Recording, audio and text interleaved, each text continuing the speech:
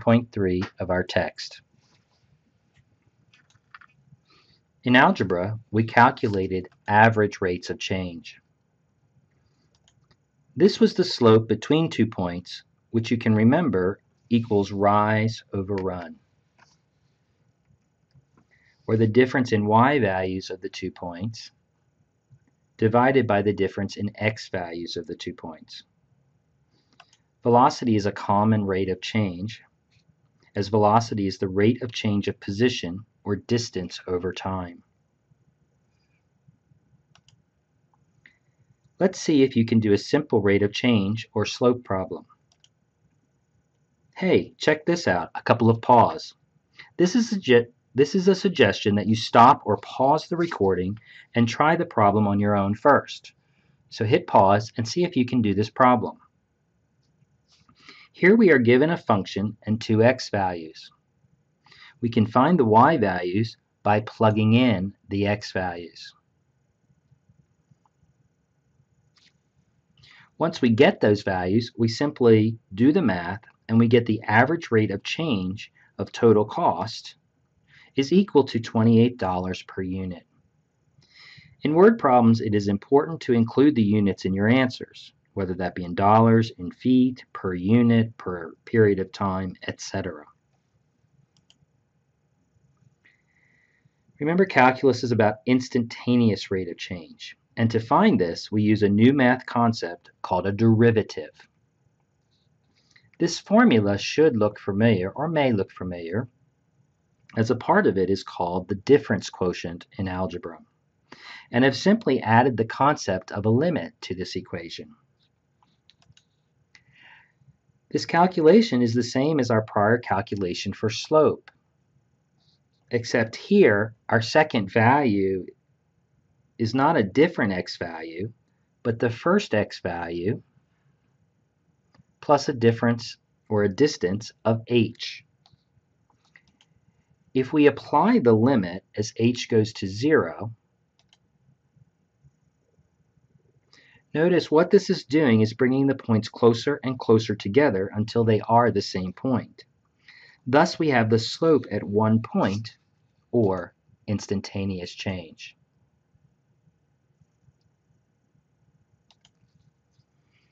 So let's see how we find derivatives and solve a problem. First, simply find the formula for the second point, f of x plus h, by substituting in x plus h in parentheses for every x in the original function f of x. And then we simplify. In this case, we expand it. Now we calculate the numerator of the equation or the change in the y values by using the formulas f of x plus h minus f of x, making sure to put the entire second formula in parentheses to distribute the negative or minus and simplify. We form the difference quotient now by dividing the prior answer by h and then simplifying. Notice we can factor out an h from the numerator, and this cancels out with the h in the denominator. Now we can apply the limit as h goes to 0. So any term with an h in it now becomes 0. And this gives us the formula for the instant rate of change at any value of x.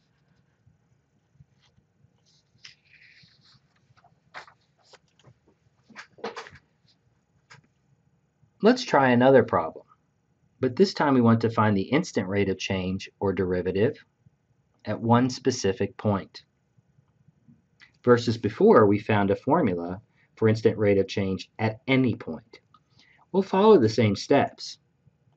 Let's find f of x plus h and simplify.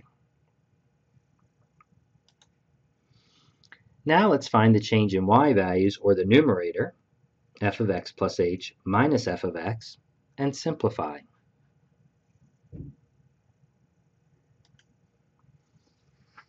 Form the difference quotient by dividing by h and simplify.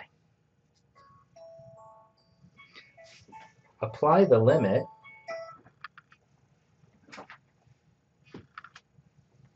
as h goes to 0 and simplify.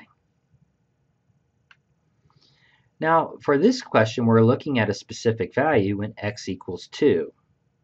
So that's the new part. We simply plug in x equals 2 into our final equation, and we get the instant rate of change at x equals 2, which in this case equals 3.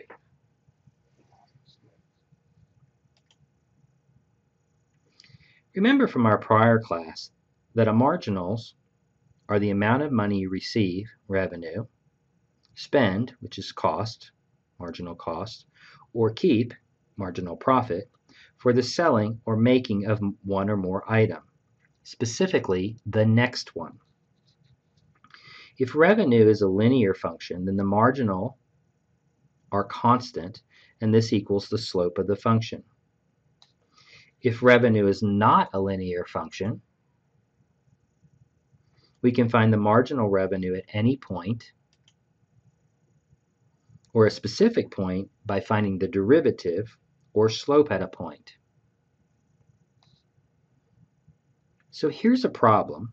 Why not try it on your own by simply following the prior steps for derivatives and hitting pause.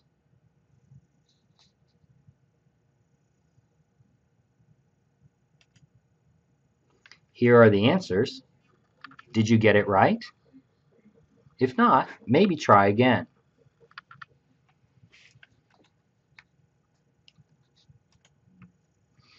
I want you to get that a derivative is very similar to something we have done in algebra for a while. Just as average rate of changes are slopes, so is instantaneous rate of change. The average rate of change is the slope between two points, where the instant rate of change is the slope at one point, or the slope of the tangent line that touches that point. This is derivative notation. f prime x, or f of x with an apostrophe, f prime x is the derivative of the function f of x and is equal to the slope at point M.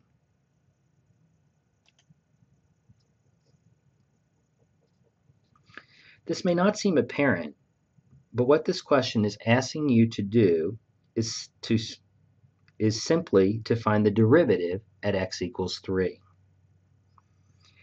And you know how to do this, so hit pause and try the following steps. Find f of x plus h and simplify. Find the numerator f of x plus h minus f of x and simplify. Build the fraction or the difference quotient by dividing by h. And simplify. Apply the limit as h goes to 0 and simplify. Now we find the derivative at the point 3, 9, or specifically at x equals 3. And we have our answer. The instantaneous change at x equals 3 is equal to 6 which is also the slope of the tangent line at that point.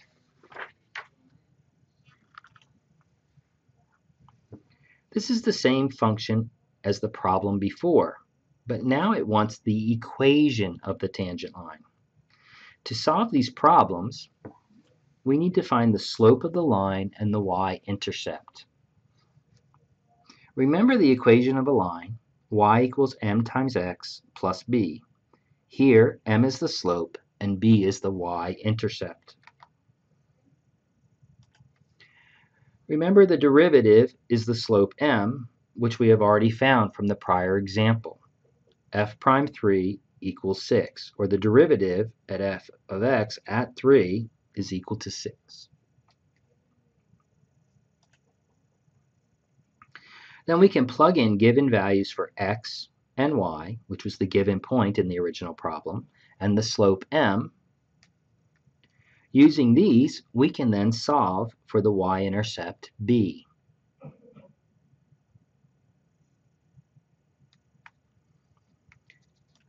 Now that we know what m and b are, we simply plug them into the equation y equals mx plus b, or in this case, y equals 6x minus 9.